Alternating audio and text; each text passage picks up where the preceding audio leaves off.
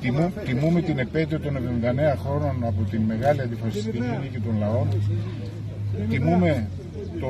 τον ηρωικό κόκκινο στρατό που συνέβαλε καταλητικά στο να παταχθεί ο ναζισμός και ο φασισμός της περίοδου εκείνης που ήταν και είναι και σήμερα ακόμα το παιδί του ίδιου του καπιταλιστικού συστήματος. Τιμούμε τα απελευθερωτικά κινήματα σε όλη την Ευρώπη και κυρίως στη χώρα μας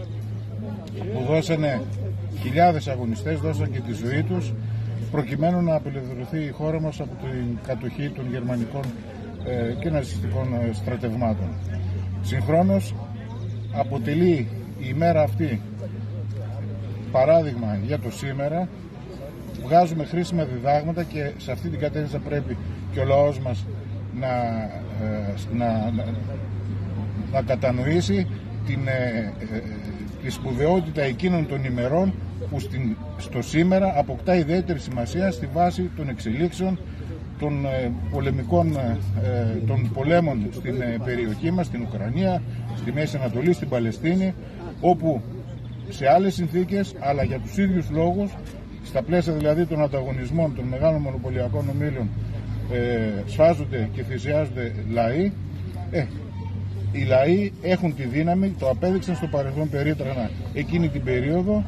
έχουν τη δύναμη να επιβάλλουν το δίκαιο τους, να επιβάλλουν α,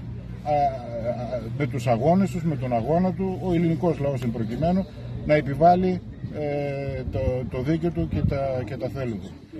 Η μόνη λοιπόν υπερδύναμη είναι οι λαοί. Εμείς από αυτό εδώ το μνημείο στέλνουμε το μήνυμα και στην πόλη της Λάρισας, αλλά συνάμα απαιτούμε το συγκεκριμένο μνημείο και είναι μήνυμα προς τη Δημοτική Αρχή και όχι μόνο, ότι αυτό το μνημείο θα πρέπει να παραμείνει μνημείο εθνικής αντίστασης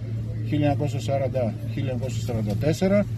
και έτσι ως τέτοιο να παραδοθεί μετά την όποια ανακατασκευή βλέπετε και εσείς τώρα το επόμενο ε, διάστημα στο λαό της πόλης.